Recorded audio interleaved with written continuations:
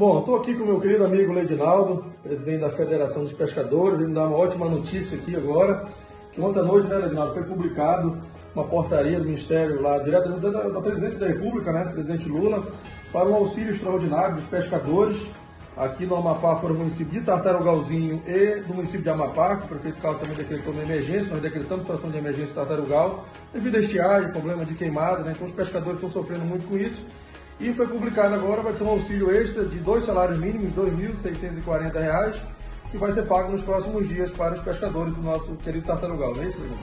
Exatamente, prefeito. Vou trazer aqui em primeira mão para você. Foi publicado ontem pelo presidente, pela Presidência da República, né, medida provisória 1192, onde institui auxílio extraordinário de R$ 2.640 aos pescadores do município de Tartarugalzinho e também do município de Amapá é adicional ao seguro defeso, né? pela questão da emergência que está sofrendo hoje em virtude da estiagem, mas uma luta sua, através da sua gestão, da Prefeitura de Tartarugalzinho, a Federação também atuou, a Confederação, a Colônia de Tartarugalzinho, e esse é o resultado. Vocês, pescadores aí do município de Tartarugalzinho, vão ter esse, esse alento, esse, essa compensação de R$ 2.640 a mais. A UNSS, a partir de amanhã, tia, vai fazer a tratativa junto ao INSS para saber a data do pagamento desse adicional, prefeito. Maravilha, então parabéns aí, Bruno. Obrigado. A nossa querida Paula, né, presidente da colônia presidente de Tatarugal,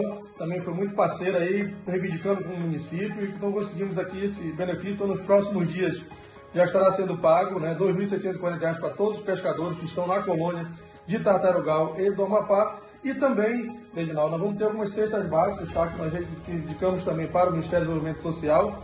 Vai estar chegando nos próximos dias e nós vamos estar entregando também para todos os pescadores de Tartarugalzinho uma cesta básica também. Então, parabéns a todos, eu acho que uma ótima notícia aí para os nossos pescadores de Tartarugal e do município de Amapá, prefeito Carlos Sampaio, também brigando por todos eles. Grande abraço. Forte abraço.